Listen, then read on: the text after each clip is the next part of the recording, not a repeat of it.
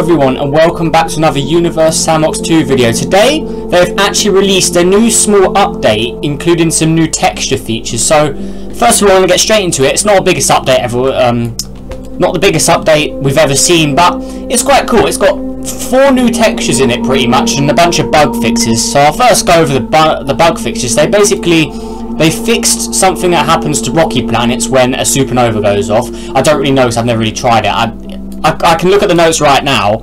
Apparently they have, um, where is it? Right here. Come on, where is it? Yeah, they've fixed a bunch of bugs. They've also fixed um, the correcting the scale of the new Juno spacecraft. So um, the spacecraft about right about here. Where is it? Somewhere down here. Let's go down. Uh, where is it? Yeah, here it is. The Juno spacecraft right here. They've made it more realistic size, so I'm guessing they didn't have it the correct size last time. So yeah, there we go. There's a Juno spacecraft currently in orbit of Jupiter right now. So yeah, let's leave that behind anyway. And now, the other bit was they also um, fixed the appearance of rocky planets affected by supernova. So yeah, that, that's it. And then there's just a bunch of smaller issues about Roche limit and stuff like that. But anyways, to the good stuff. Well, it was still not really that much, but yeah. They've retextured the like the nighttime of Earth, so you can see here all of the city lights. They look pretty cool now because obviously I've got my graphics on high. I'll show you right here. If you go, if you go to settings, then graphics look quality high. I've got mine on high, but these lights look really really nice compared to what they used to look like. So you can see they're like much more realistic. You can see like all the cities and stuff. You can see in the UK where I live, you can see it London, which is right here. You can see it's the brightest part. This bit here. Like I can even go into London. Look there, this is London. You can see there, it's the brightest part. I'm guessing Paris. Wait, whoa, whoa, what was that? Yeah, I'm guessing Paris in France is probably this city here.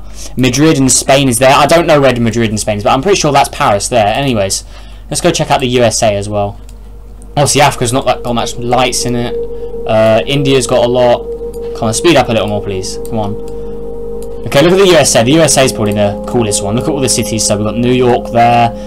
Um, I don't know America, I'm sorry. yeah, we've got New York, we've got uh, Florida there, then we've got, I can never know this part. What's it? I don't even know.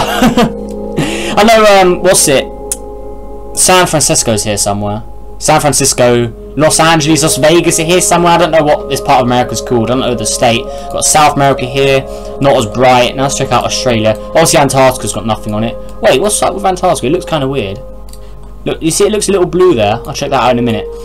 Wait, well, Australia's really dark. Also, yeah, because it's got the outback. All of that random desert area no one uses. But you can see, like, there's some lights here. Also, um, Japan there looks pretty bright. Because that's got quite a lot of population and technology and stuff like that. Okay, where's China? See China. They got the most population in the world.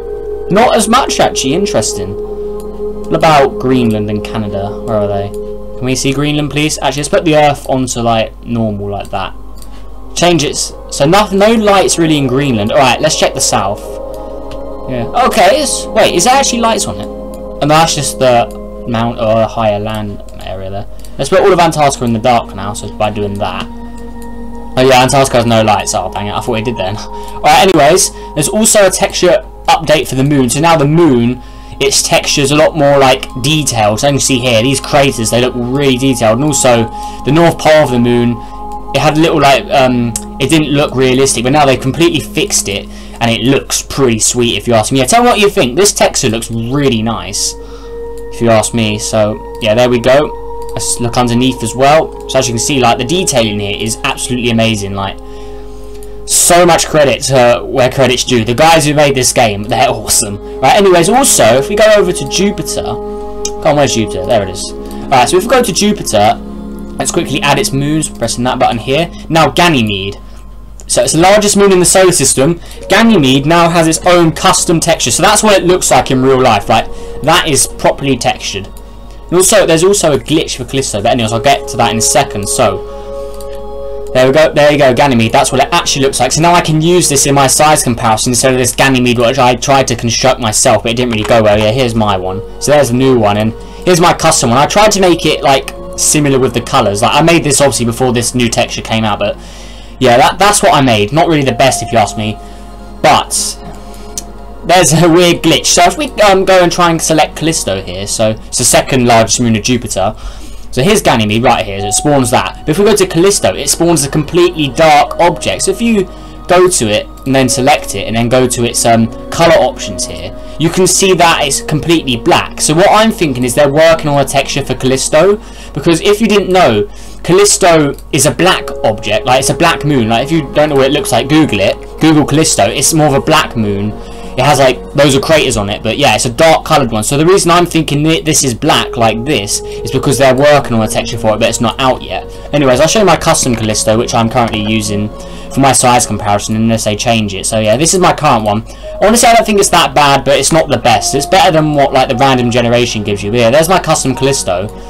Still not much colour in it, because obviously the like the objects with like custom textures, they got a lot more detail than like custom objects. Anyway, let's get rid of that. So if you want to have a look at Ganymede, here you go. So let's get a full rotation of that. So it looks pretty sweet. Remember, Ganymede is larger than Mercury. This could be a planet if it is in orbit of the Sun. Look, there's Mercury right there.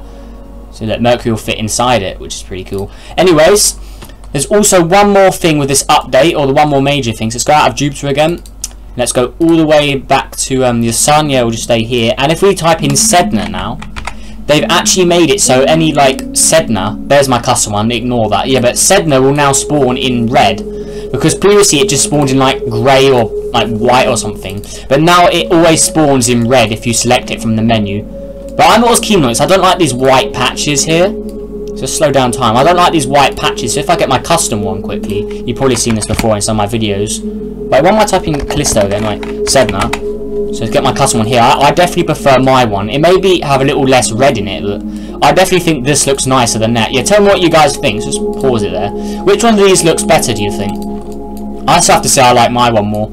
I know this one's got a lot more like colour like blending in it, but I still prefer this one honestly. I just like it. It's more of a plain red. I definitely recognise it as a Sedna more than this thing honestly. But honestly, still a good go. It left me is better than what it used to be because it used to be just be like a random moon. Like Sedna could have been any of these colours here.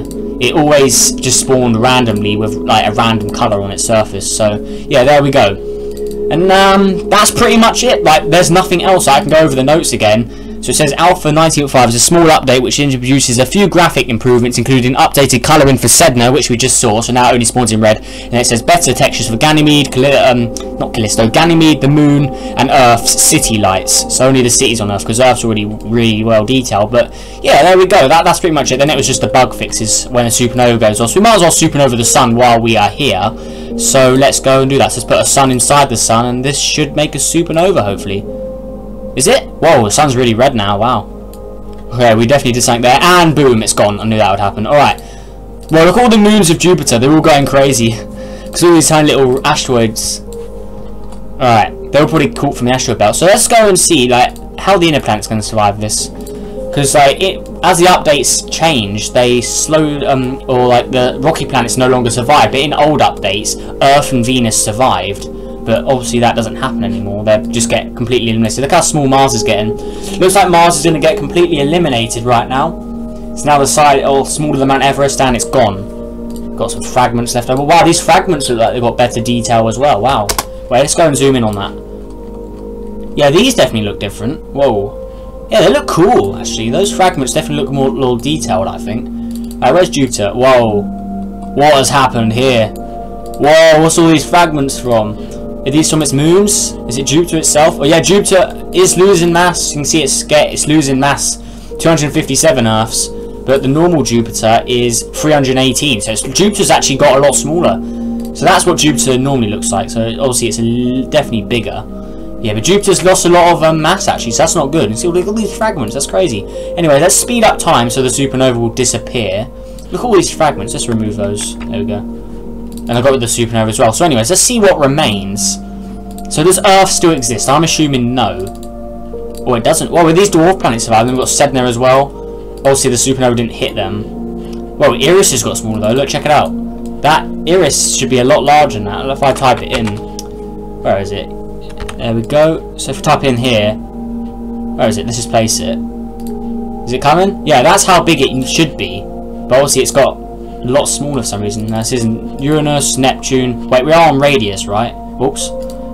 Take me to radius, please. Yeah, radius. Uh, so, so Neptune is now larger than Uranus, and then Jupiter and Saturn are pretty much the same as they've always been. So yeah, so Earth will still get eliminated by a supernova. So yeah, that that's it, I guess. Rest in peace, Earth. But anyways, that will do it for this shorter video of the review of Universe Sandbox Alpha 19.5 title name Prettier Moon's bug fixes so yeah the, moon definitely looks a lot prettier and obviously we've got Ganymede as well so yeah there we go so hopefully you all enjoyed this shorter video and tell me should I keep on up like reviewing these like small updates because they're quite interesting actually I like it when they include little features because I've actually been wanting them to add a Ganymede um, texture for a while. So I'm hoping in the next update we should see one for Callisto because it kind of looks weird just as a black ball right now, which is, yes, very strange. But anyways, yeah, this new Ganymede looks really nice. Let's turn the heat off. What am I doing? Yeah, so the new Ganymede looks pretty sweet. So I'll give him like the thumbs up on that. 10 out of 10. That looks awesome. But anyways, hopefully you all enjoyed. Leave a like um, if you're new, subscribe as well, and I'll see you in the next video. Goodbye.